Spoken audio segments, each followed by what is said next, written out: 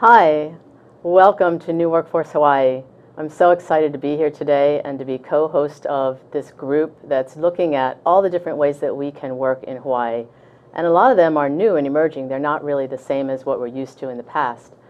Uh, you'll see on the bottom of your screen uh, a website, newworkforcehawaii.com. New Workforce Hawaii was founded by Carlene McKay, a national speaker in the field of aging as well as new ways to work for all ages, millennials all the way up through 90, 95, however old you are. And I'm happy to be a member of that group along with three other founding members. When you go to that website below, you're going to see not only some really interesting information, but also the opportunity to download a free book called Work Future, Work in the Future. And what you'll find in there is that it's really time for you to wake up, look around, and get an idea of what other things you can do besides whatever 8 to 5 you're doing today. Uh, one of the scary parts about that is that uh, we may not have the choice anymore just to work in a regular job. A lot of those are going away to robotics and other things as they come along.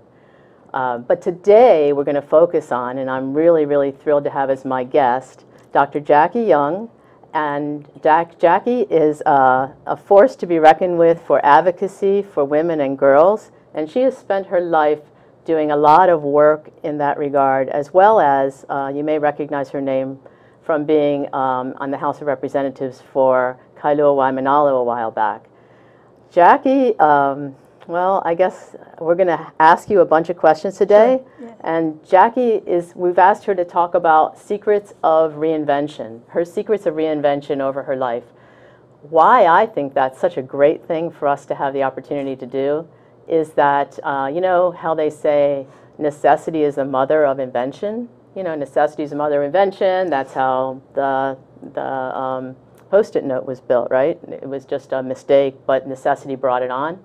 Well, Jackie's one of the mothers of reinvention. So uh, thank you, Jackie, for being here today. Thank you. And uh, we'll hear a little bit about parts of your resume as well as the, the, key parts that you think our viewers would really relate to in terms of their own lives, okay? Okay. Okay, Sounds great. Good. So we'll, we'll get started. Um, let's see. Right now, um, Jackie is on several boards, right? Mm -hmm. Yes. What are some of the boards that you're on right now? Uh, I'm on uh, ACLU's state board mm -hmm. and um, on the Civil Rights Commission, Hawaii State Advisory Commission to the Civil Rights. Wow. And uh, also on the Judicial Selection Commission. And mm -hmm. I was mm-hmm. just elected chair of that. Wow, excellent. Yeah. Well, they're lucky to have you as chair. Thank you. Yeah. And then you're also on a national group? Yeah, I um, was, I was appointed by the Secretary of Defense to the uh, Defense Advisory Committee on Women in the Services. Mm -hmm. So it's a committee that advises Secretary Mattis uh, Defense Secretary about integrating women into the military. Wow. And I was so fortunate. I was on this committee in the 1990s mm -hmm. when they had the combat exclusion law and wouldn't allow women into combat positions mm -hmm. except for uh, aviators. They could mm -hmm. fly combat planes. And that was in 1993. And then just recently, a year ago, they repealed that. So now 220,000 jobs wow. in the military opened up for women. Right. That's a huge new uh, workforce opportunity for women right. in the military. Right. I was reading about that, and yeah. and actually, uh, one of the interesting things I think is that you you're you're really for fairness and equity, right? right. But you're also for safety, right? For exactly. people in various job categories yeah. and things like that. And uh, that's one of the other things, you know. Do you want to say anything more about that? Well, I, I want to talk about DACA in the sense that, to me, that's going to revolutionize the workforce. When you mm -hmm. see women moving into positions they never had before, right. you know, in combat, in uh, ranger school, in the SEALs, and yeah. it's going to be hard for them in the beginning right. because they haven't trained for that. But when they get in that, it's going to revolutionary, uh, be revolutionary in what women can do. Mm -hmm. So it mm-hmm. just opens up a whole new field. Whoa, that's an excellent point. Yeah. And um, I think also in terms of um, the future of, like, I think it's over 49% of all the degrees that are graduate, are graduate degrees are earned by women now, right? Yes. So in terms of what we can do as a force, not against men, but in terms of parity, equity, mm -hmm. and the future of womanhood, right? We should be able to do some things. Exactly, and an example of that is in the judiciary. You know, there's been a call for more women judges, Yeah. and over 50% of the law school students are women. Right. So why isn't that happening? And I think part of that falls into, frankly, some of the traps we fall into, and that, that has been the theme of my whole life. About traps and how to get out of them. Oh, well, that's, this sounds fascinating, doesn't No, it? But, So, uh, well, tell me w- the one trap that you personally didn't notice at the time. Oh, okay, so yeah. you're in a trap. Most of us don't notice it right away, right? Sure, they don't know. So, yeah. a trap you got into, all of a sudden you woke up, you were like, what, what's going on, and how did you get out of it? Well, you know, it's our culture and government that puts us into traps. Mm-hmm. And in my opinion, age is a big trap because Oh, what the yeah. government tells you what you can do at a certain age, you can go to kindergarten, certain age, you graduate at a certain age, you go to college at a certain mm-hmm. age. Those are are, are traps that you have to think your way out of. And I Yeah. fell into a lot of those. In fact, what I brought is, you're talking about 20th century, because this is the 21st century, right? That's right, that's this was right. my very first degree that I got, and it's Oh from the my YWCA in. Advanced Cake Decorating. You can't really Advanced read it. cake Advanced. Cake Decorating in 1956. But Oh, that was all I year I could get born. at that time because I had left college to get Wow. married, and the only courses available to women were at the YWCA in millinery and sewing and cake decorating. That was a wife trap. Mm-hmm. You know, you don't go back to school if you were married. You you just stay at home and you do homemaking things, and Right. that was all I could get. Well, now in the 21st century, I looked it up. You can learn how to decorate a cake online. They have courses, and Chris, And you know, I have the too, Apple right? Mm-hmm. Watch too, right? It doesn't matter. You don't have to be a wife, and in fact, probably our best pastry chefs sometimes are men. That's true. You know, so Yeah. what what's limiting for women is limiting for men also. So Oh, wait, let Yeah. me stop you there. I think that's an excellent point, Yeah. right? What's limiting for women is limiting for men.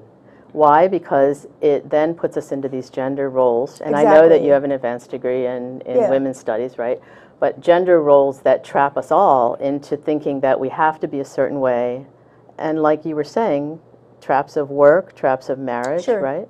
Yeah, and way back when I was with the Department of Education doing uh, gender equity issues, Mm-hmm. I met the uh, HR person, human resources person from AT&T. Mm-hmm. He was here to give a talk, and they were being sued at the time by switchboard operators who were told you had to be female to be a switchboard uh, switchboard operator, and you had to be male to climb the poles. Right, right. So when the women uh, challenged them on that, they had to look at different research on how to have lighter belts, smaller um, tools that could fit in their hand. Right. What they discovered when they did those things, that small men could also qualify to Oh, climb the go. poles. Makes So it opened it up to diversity in the sense that Asian men were smaller than Mm-hmm. some of the other big burly men.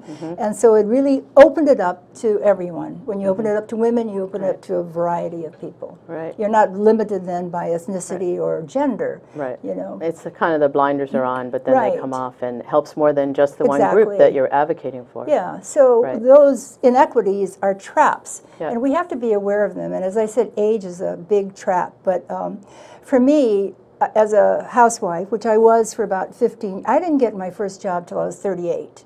38 years old. No and that was after I got my degree, some of my degrees, and, and, and worked my way up. And that was because the Vietnam War was going on. My husband was in the military, and I thought if he died, I had four children, what was I going to do to take care of them? And it was a very practical call, right? decision that I had to finish my college degree. Yep. So I went back to school in my 30s, and, and then my first job at 38 years old. So I didn't want to be caught in that trap of not being educated.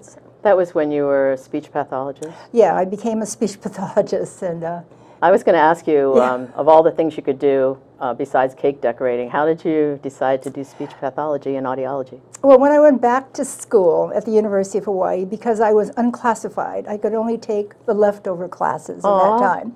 And in high school, I had been on the debate team, so I wanted to go for speech. Right. But a lot of people thought speech was an easy way out, and it was all filled, and the only classes open was speech pathology. Oh, I see. So I ended up taking the introductory course in speech pathology, and I thought this is a pretty good field. But once I got in it, I found out you had to have a master's degree in order to utilize it Mm-hmm. because it required a higher level of clinical competence. Right. So then I thought, oh my gosh, I've set myself a path to get a higher degree, you know, and, and so that's the. So were you I working? Were you working full time while you did that? Uh, no, I had internships, which was Ah. really, Oh, really great. useful to me. But Yeah. I have to tell you, during this whole period, what got me going back to school, what got me to become more active was I read something that Jackie Robinson wrote. That life is not a spectator sport. You Mm-hmm. Yeah. can't spend your life in the grandstand. You have to That's get. Mm-hmm. out on the field. And I thought about that because I felt like I was a spectator for so Yeah, long right. that I thought I really, and that rung in my ears. I thought I need to get out of this. I need to do something, and Right. and that's what spurred me on. That's great. Well, I, I think New Workforce Hawaii too. One of the themes that we're trying to broaden out Right. is that learning is doing, Yes. and not just um, and going back to school is a wonderful thing to Oh, do. yeah, yeah. But these days, you can learn on YouTube and go try Exactly, something new. like that, Right. So you can learn faster, like you were saying about the cake decorating, Right, right? yeah. So this idea of there should be fewer traps, right? Right. No, we get trapped all the time. Like another one is, uh, I consider them conceptual traps. Mm-hmm. Uh, you can't teach an old dog new tricks. Well, I frankly had a dog up to 15 years old. He was constantly learning new tricks. I am, you know, they think of elderly people. I am constantly looking for new ways to learn because Right. to me, aging means living. Mm-hmm. Living means growing. And I mean, all you have to do is look at your fingernails. They constantly grow, don't they? Yeah, don't you have to clip them all the time? That's if you true. didn't, they'd be long. That's so true. that's a sign to you that you're still growing. Right. You know, if you're still growing outwardly, then you need to grow inwardly Right. also. You Okay. know, so it's a to me being a lifelong learner is super important. you know, Absolutely. to continue to learn and keep yourself relevant. Right. Relevance is the thing, and if we don't learn, we're going to become dinosaurs, right? Right. Exactly. Yeah, right. So um, let me ask you this then: like, you, were you always a lifelong learner from way up? And if, if, if any of our viewers aren't, they don't consider themselves lifetime learners, or they're they're afraid of that. How would you help them to get over that trap? Well, I was a lifelong. When I think about this, and I keep it, you know, I keep it hanging because it reminds me that was what was available at the time. It's amazing. And, you know, yet I continued on that path. So I always had something I was learning, whether it was Chinese cooking, which Mm-hmm. I learned, uh, millinery, I learned how to make hats. Wow. Sewing, I learned how to sew, stretch and sew. I learned every method Wow. of sewing. Wow. But it was not something that I really loved. And I learned after a while that a career is something that you have you set as a goal. You want to be a speech pathologist, Mm-hmm. a career. But a vocation is something that you truly love and believe in. And Oh, it's right. a calling. The word Yeah. vo- vocare, vocare is Latin for Vocare, calling. right. So things called me, and they usually were in my volunteer activities. There was something I volunteered for Mm-hmm. Yeah. that called me, but pretty soon they merged together. Mm-hmm. My volunteer work and my career work, so I felt inspired and motivated and able to activate myself. And those Right. are key words in my life. To So be- would you say, um, do you know people who weren't really comfortable with learning who now have made it through the trap, or have you helped other people get through that trap? Well, you know, I've given hundreds of speeches over the years, Mm-hmm. and to this day, I'll have people come up and say, I remember when you said something 20 years ago. Oh. And I'm like amazed that something I said a long time ago. My belief is as you grow, you're not only learning, but you're teaching. And you don't mm. even know you're teaching by your behavior and. Yeah. and the actions that you take and the life that you lead is That's- just teaching in itself. That's you know. great. That's great. We're going to come right back. We're going to have a short break, and then when we come back, we'll hear some more about your story, okay? Okay.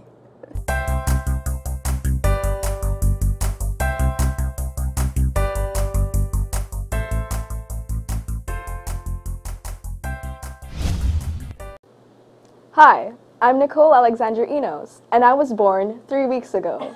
Congratulations on being there for me for some of the few weeks of my life.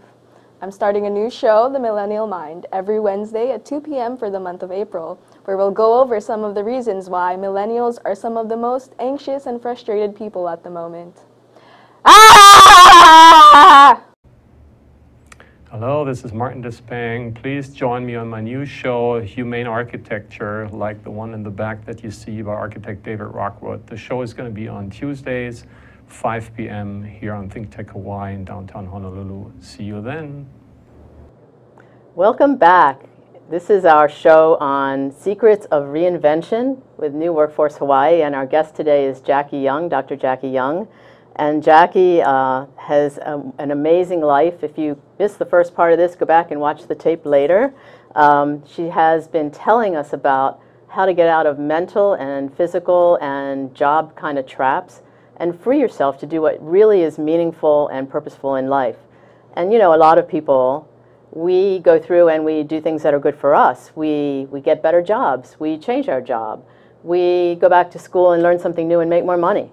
Well, Jackie has transcended that, and she has chosen to become a public advocate for numerous causes. And I, what I'm going to ask her about now is how she decided to do that. So, Jackie, what made you decide to go out and be a public figure on various causes? Well, one of the earliest uh, language gifts, and I call them gifts, when there are quotes or sayings that people do that inspire you, was my grandfather. I was raised by my grandparents, and my grandfather came from Korea in 1904, and he was very political, mm-hmm. and he was um, leader in the Korean community. Oh. He would go around to the different plantation camps and tell people, if you care about your family, you have to care about politics. Mm-hmm. You have to care about what's going on politically, mm-hmm. because it's going to trap you. And Ah. I, I would hear that when I traveled around with him.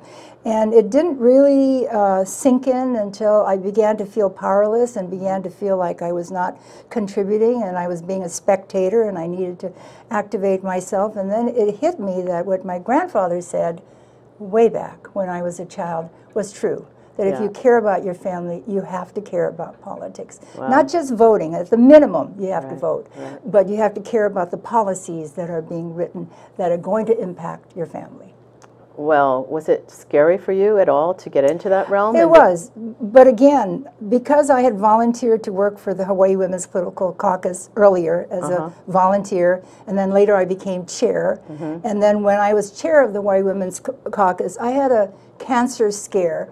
And I thought I had colon cancer. Oh. And uh, I got a call from the national office asking me to run for national vice president.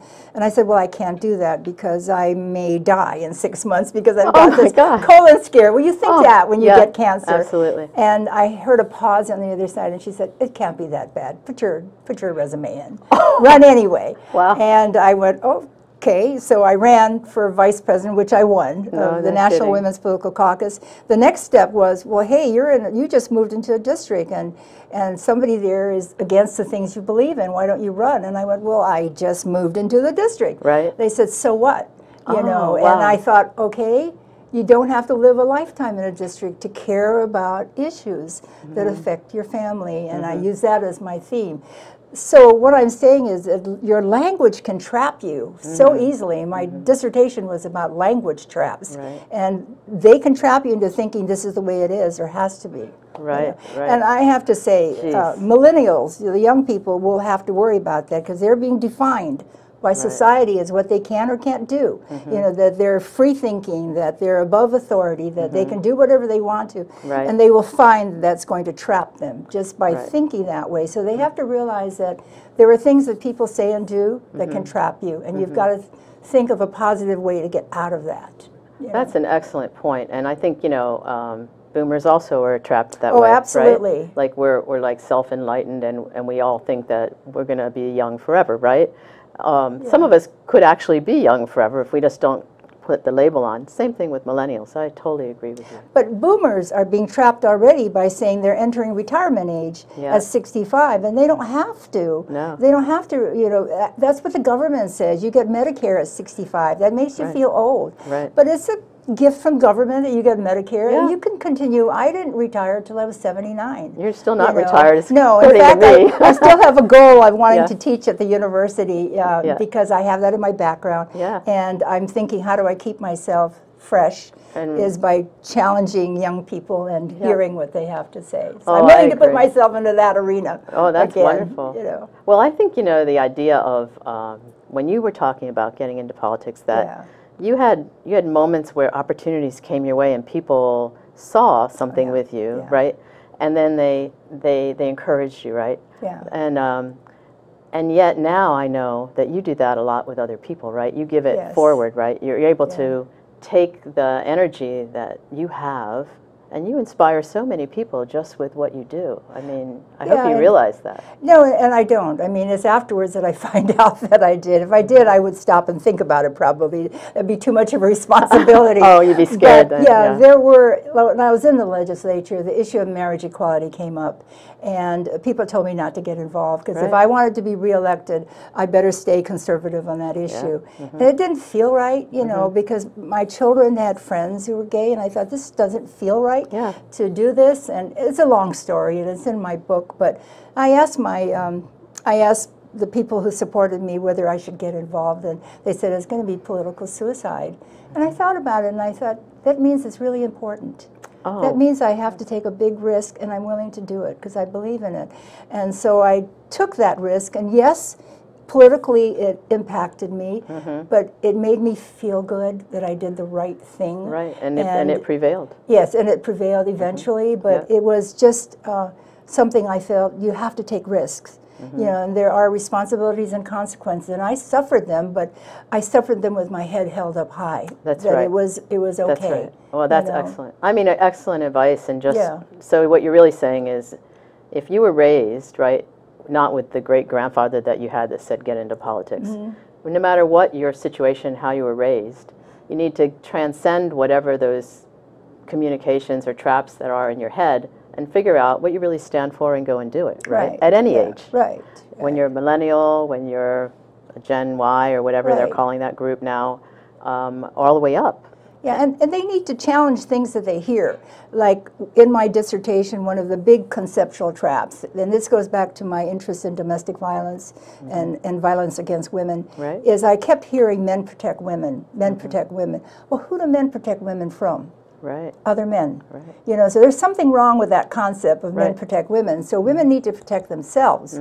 They need to be able to take charge of their lives and Mm-hmm. step forward and take care of themselves. And that was a big trap that uh, I'd like to put out there that things like that can really uh, ensnare you. Mm-hmm. And it's important you realize that they're there. So you you know. just decide, once you know I have an opportunity, you just decide, I'm going to go do this. I, I'm weighing all the pros and cons, and I'm just going to go and Yeah, sometimes you get sucked in. you, you get battered, you know, and you Yeah. do that. But then, because over the years I've developed a self confidence in myself, I know mm. I can get out of it. There you go. That I can move. I can always be a cake decorator. right I mean, I can. I always look at Leonard's Bakery and go, I can do those cakes. I Right. can make roses. I can Right. make animals. You know. Yeah. This is from something over 50 years ago, Right. and I still have that skill. Yeah, You know. that's a so good point. I, I never lost that. you yeah, know. that's So, a good yeah. point. Yeah, I could always write resumes or help people with LinkedIn or Well, something. You know, my first job, Phyllis, was as a reporter for the Honolulu Star Bulletin. I was 16 years old. Wow. And when I was you given that, that? opportunity, I was like, oh my God, I'm going to be writing for the world, which at that time was Hawaii, right? Mm-hmm. You know, but it gave me the ability to meet deadlines. You Mm-hmm. know, to be able to interview people, you know, that were outside of my little circle, Mm-hmm. and to network with a larger group of people. It was a high school column, but I had that column for four years. Wow. So I was able to really meet a lot of people in the community as a result. Right. We were talking a few days ago about uh, the networking and the volunteerism and Mm-hmm. how it really kind of helps prop you to know what you might be interested in later, et cetera, right? So It's really important because if you're in a job that is kind of junk, Yeah. you can still volunteer for something like Habitat for Humanity or Food Bank or Right. something that makes you feel you're giving back to the community. And you'll Mm-hmm. soon find that your skills in raising money for that nonprofit maybe will come in handy in your career. You know, or the skills of networking or organizing will come, you know, if you want to run for office someday. So all those skills dovetail with each other. Right, right. Well, I want to hear just a little bit about your book. Okay, we have a- a, few minutes left, and I know you've been working on your memoir, Yes. and it's in various stages of iteration. And um, what is the title of it right now? Is the Gifts of Aging? That's the working Well, title. that's the subtitle. Actually, subtitle. the title is What the Gypsy Said. Ah. And it's because when I was 15 years old, I was in Chinatown with my brother and my grandmother, and they had gypsies on the sidewalk right across from Wo Fat. They had Oh. tables set up with tattoo artists and gypsies on the sidewalk. And I was standing there, and a gypsy came up and grabbed my hand and said, Oh, too bad, you're going to die when you're 25. Oh, and, my and my brother wa- was shocked that she would say that, and And everybody I asked after that said, oh, that was just a silly prophecy. Don't worry about it. Yeah. And I didn't really worry about it, though it sat in the back of my mind till I hit 25. When I hit 25, I thought maybe this is the year I'm going to die. You know, and at that time I was pregnant with my third child and in Germany. And I thought this is the year I'm going to die. So it became very um, present in my mind. And what happened after that is I began to feel like we really can't take life for granted. We really have to make decisions now. And it crystallized when I read a book about if you had six months to live, how would you live your life? Right. We would be blessed to be able to know we could live six months, Right. truly, because we true. don't know. Right. And so I used to plan if I had six months to live, I would run for office. This is the way I was thinking when I was asked to run for office. Well, if I died, I'd be elected and the governor could appoint a Democrat. this is what I thought. If I had six months to live, I would do it. Always You thinking know, ahead, I would even think I would gonna- do it. If I Yeah. had six months to live, would I do this? If I had six months to live, would I retire? Would I quit? Would I do something else? Mm-hmm. It gives you a long enough span that you can think, I can do it. Mm-hmm. And then one of the last quotes I'll mention is when I was diagnosed with breast cancer, Mm-hmm. I sat there in the doctor's office waiting for him to come and tell me the bad news when there was a sign on the Mm-hmm. on the wall that said, "Yesterday is history, tomorrow is a mystery, today is a gift, and that's why it's called the present." Aw. And I s- looked at that and I said, whatever happens to me, and I had breast cancer at the time, and that was 1998. Wow. You know, I said I would live the fullest that I could live. Oh, what a wonderful way to end this segment. But I sure hope that we have a chance to talk to you more. And anyone who has the chance to check out Jackie's book when it is published. Hopefully by the end of the year. Yeah, and uh, in, and if you are even before that, you if you don't know her, look her up on Google, LinkedIn. Check this woman out. She is um, she's had so many different important roles so far in life, and we really thank you so much for spending Thank your you. time with us today. This is New Workforce Hawaii. Thank you very much for tuning in, and we'll see you next time.